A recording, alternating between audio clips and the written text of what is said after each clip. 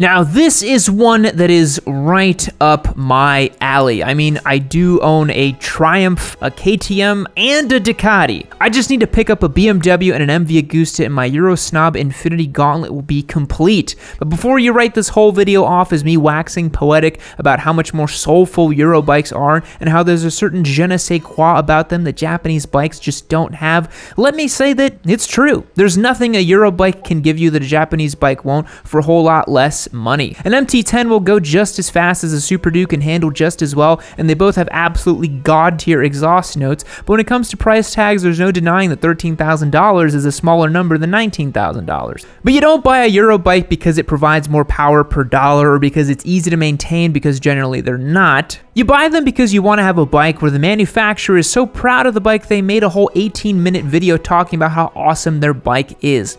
You buy it because it's classy and unique and tickles your pickle in all the right ways. But let's say you want to be an apex Euro snob. What bikes should you be looking for that would make your fellow Euro boys bow down before you, green with envy, as you ride straight to the dealership to have your oil serviced and changed because doing it yourself is for peasants? Well, aren't you a lucky dude? Because I've got seven of the best Euro snob motorcycles ever in this video. Now look, before we jump in guys, I need you to understand that our 2021 Turbo Hayabusa 1 million subscriber initiative is happening. I have literally cut the check for the turbo kit for this Busa. I want to turbo it this year, but I'm only going to do it at 1 million subscribers. Actually, I'm probably not going to literally install it at 1 million because I want the video to go up right when I hit a million subscribers. But anyways, do me a solid, just press that subscribe button. YouTube will love us more for having more subscribers. We'll get recommended more and it will literally cost you nothing. Do your part, commit to the squid degeneracy that is slapping a turbo on a motorcycle that already has a 1300cc engine. I want to feel the almighty power of a 250 wheel horsepower on something that could double as a prop on the casting couch videos. Okay, enough self-promotion promotion, let's check out these Euro beauties. Number seven on the list today goes to the Ducati 916. This is one of the most beautiful bikes ever made. I mean, just look at it. It's got the single-sided swing arm, exposed trellis frame, classic Ducati red and white paint, and lovely V-twin exhaust note. The 916 was made from 1994 to 1998, making it a very exclusive motorcycle, and its 916cc engine puts down 114 horsepower and 66 foot-pounds of torque. Sure, it's not the 160-ish horsepower of a modern Panigale V2, but it weighs in at 429 pounds wet, so it's a little lighter, and let's face it, you don't buy a 916 to extract every every ounce of power out of it. You buy it so that you can roll up to bike night in your matching Dainese leather jacket that's period correct and bask in the attention and admiration of everyone around you. If you want to be even fancier, you can pick up yourself a 916 Senna edition, which was a special edition of the bike, because you know Ducati's got to have their special editions. The 916 was replaced by the 996 and the 998, which tried to keep the same style but with the bigger engine. There can be only one genuine article, and there was also the 999, but we don't really talk about that one. If you want a 916, you can get decent examples for around $8,000, but if you're a Euro snob, you don't want decent, you want pristine. And in that case, be prepared to shell out about $20,000 for a bike that makes about the same amount of power as an MT09, but rest assured that you'll have a true icon of Italian motorcycling in your garage. Let's get a quick sound clip of this beautiful classic Desmo V-twin.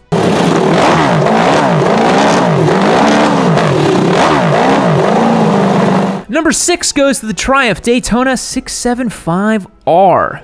Of course I had to put this in here. Did you honestly think that I put together a list of the best Eurosnob machines of all time and not include the Daytona? Who the hell do you think I am? It's got everything you could ever want out of a sport bike. Super aggressive ergo so you can achieve maximum tuck, a massive ram air intake on the front so you can achieve maximum suck, and a one-of-a-kind styling that you can achieve maximum Euro simp.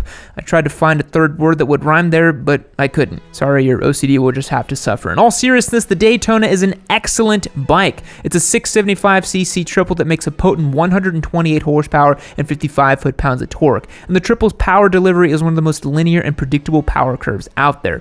It weighs in at only 406 pounds wet, which means you can easily get the bike under 400 pounds with just a few mods, and it's got a big old analog tachometer right in your face. Let me tell you, there is nothing quite like running that bike through the gears around a track, watching that needle ping at 14,400 RPMs, and hitting the quick shifter at wide open throttle. If you want a Daytona, you can still find them for under 10 grand, and while it might surprise you to hear this, I actually don't recommend buying the 765 Moto 2 Edition Daytona. Yes, it's a special edition, there's only 765 of them in the US, but it's basically a glorified street triple wrapped in carbon fiber. If you really want a proper sport bike, get the 675. It is the real deal Daytona. Just don't try and turn it into a race bike like I did. Trust me, it's really not worth it. Just get a Gixxer. Let's get a sound clip of that glorious triple cylinder.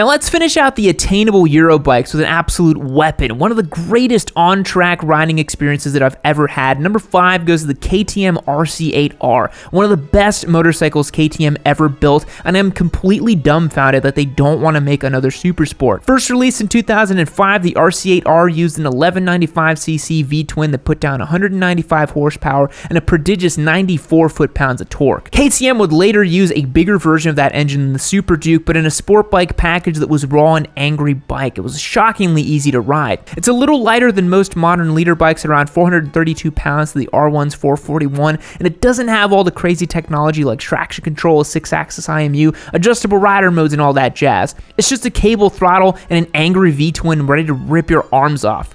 What's nuts is it's got adjustable foot pegs, levers, seat, and clip-ons to make it more comfortable for street duty or to dial it into the racetrack.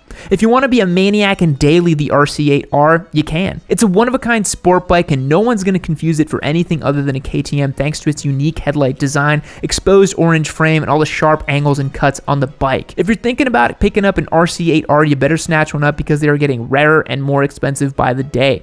You can find them for around $8,000 if you're lucky, but be prepared to spend around 10 grand for this bike. This motorcycle is seriously sharp around the racetrack and is incredibly fun to ride. Let's get a sound clip of this awesome bike.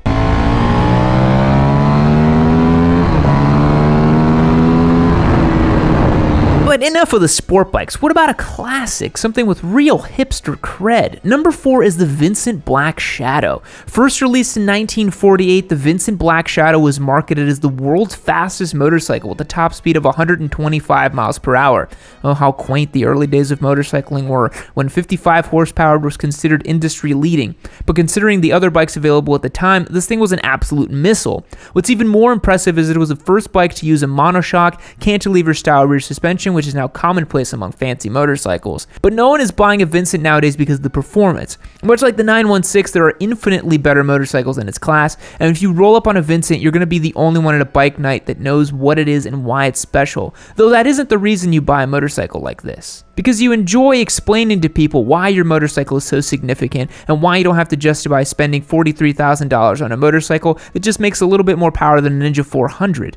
You enjoy being an apex hipster, and all the guys on modern Bonnevilles are just jealous that they don't have to deal with carburetors and don't have to search for engine parts for a bike that's been out of production for longer than most boomers have been alive. Or maybe that's what you tell yourself when you have to wheel your bike back on the lift because something else broke and you have to empty your bank account to find it. So far, we've covered bikes that normally normal Euro simps can attain, and a classic icon. But where are the bikes that are so rare and so expensive that only the true max level ascended Euro simp may even gaze upon them, let alone even consider purchase one? Well, let's start out with perhaps the most obvious choice, the MV Agusta Brutale 1000 Serie Oro, the fastest naked bike in the world, or so the website claims. What's interesting is that they don't even bother advertising it as a bike you should take to the track, all they care about is straight line speed. But anyway, the Serie Oro has a 998cc inline 4 making 208 horsepower in stock trim, but with a mere 5,000 extra bucks, a new exhaust system, and an ECU flash, you could put down a whole 4 more horsepower. But for a bike that costs you 52 grand, what's an extra 5 grand, right? Now, they claim a top speed of 300 kph, which translates into 186 freedoms per cheeseburger, but there's a little asterisk next to that number, which means that it's limited, so theoretically you could push that bike faster if you wanted. The only question question is, what happens if you wad it up or grenade the engine? Oh wait, we're talking about Eurosims, and you can't put a price on performance. You will just pull up the website and get another bike on order. When it comes to looks, the Serie Oro is very much a love it or hate it bike. No one will mistake it for anything other than the MV Agusta, but you might have to explain how it's an MV and not a Ducati. Let's get a quick sound clip of this thing.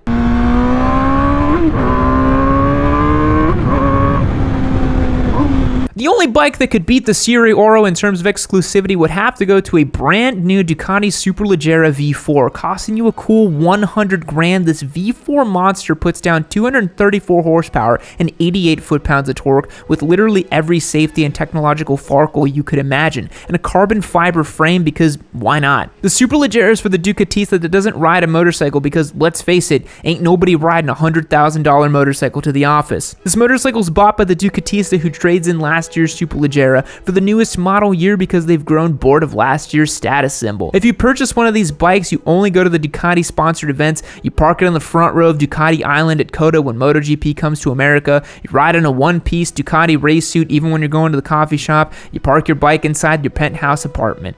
You've ascended beyond the ranks of a mortal Ducatista and become something else entirely. You sleep on a bed of dollar bills with Ducati bedspread, you have Ducati branded underwear, and eat with Ducati branded gold and silverware. You're the Euro snob incarnate, but you're still not at the top and it burns you to the very pit of your soul. But before we check out number one, you gotta listen to how the Superleggera sounds.